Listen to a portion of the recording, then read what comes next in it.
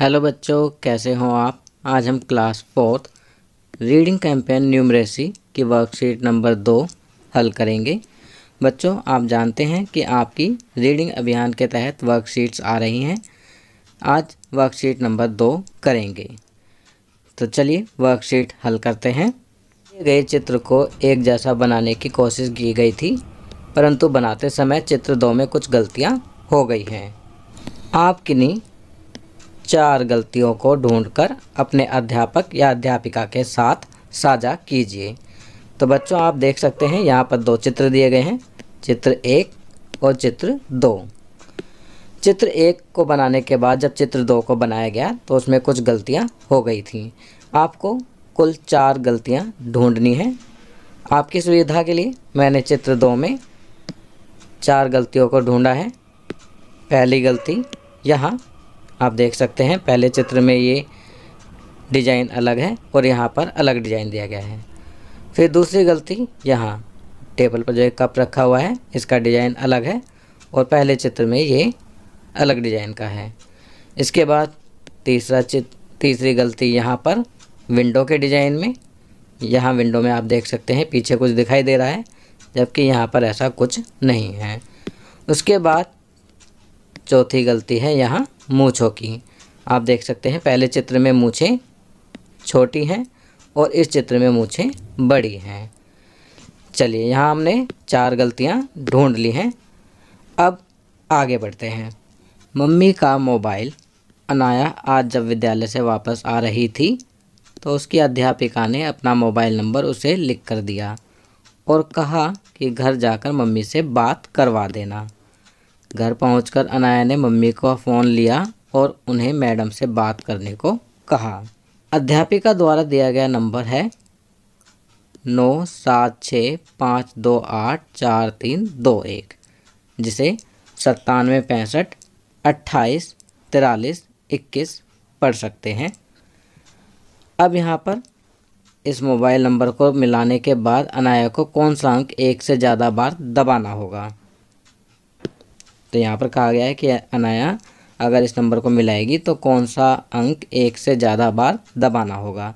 तो बच्चों, आप देख सकते हैं यहाँ पर जो दो अंक है, वो एक से ज़्यादा बार आया है। तो यहाँ हम लिखेंगे, अंक दो को एक से ज़्यादा बार दबाना होगा। आगे है, इस मोबाइल नंबर को मिलाने के लिए कौन से अंक की आवश्यकता नहीं होगी?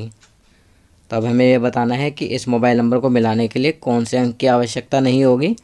आप देखेंगे ध्यान से मोबाइल नंबर को तो पाएँगे कि अंक ज़ीरो की आवश्यकता नहीं होगी। चलिए आगे, दिए गए नंबर में से तीन अंकों की सबसे छोटी संख्या कौन सी होगी? अब जो ये नंबर दिया गया है, इसमें से आपको तीन अंकों की सबसे छोटी संख्या ज्ञात करनी है। पहला दिया गया है रूल अंकों की आवृत्ति के साथ कि आप अंकों की आवृत्ति, आप अंकों को दोहरा सकते हैं।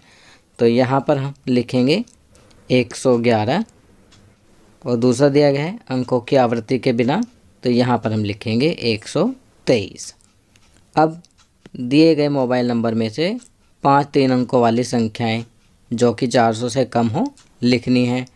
तो यहाँ पर आप तीन अंकों वाली पाँच संख्याएँ लिखेंगे, जो 400 से कम हैं। आपकी सुविधा के लिए मैंने यहाँ लिखी हैं, एक सौ बत्तीस, एक सौ तेईस, दो सौ इकतीस, दो सौ तेरह, तीन सौ इक्कीस, तीन सौ बारह।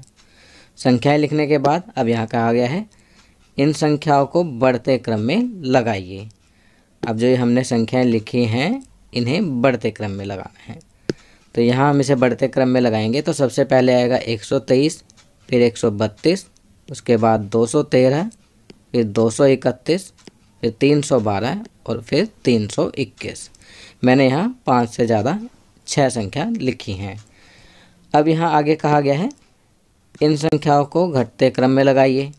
अभी हमने बढ़ते क्रम में लगाया था, अब हम इन्हें घटते क्रम में लगाएँगे। तो घटते क्रम में लगाएँगे तो सबसे पहले क्या आएगा? तीन सौ इक्कीस, फिर तीन सौ बारह, दो सौ इकतीस दो सौ तेरह एक सौ बत्तीस एक सौ तेईस। अब यहाँ आगे कहा गया है कि अपने घर के किसी सदस्य का मोबाइल नंबर लिखिए।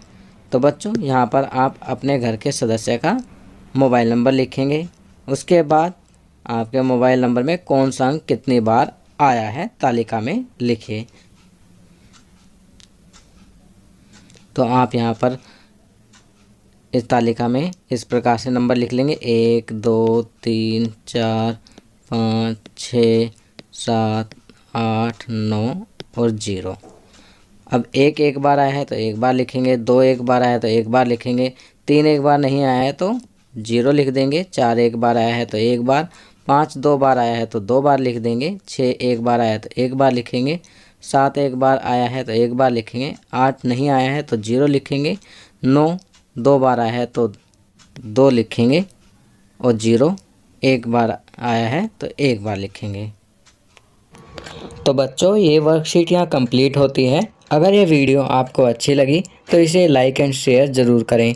अन्य विषयों पर बने हमारे लेटेस्ट वीडियोस को देखने के लिए चैनल को सब्सक्राइब करना ना भूलें और देखते रहिए हमारा channel knowledge kingdom thank you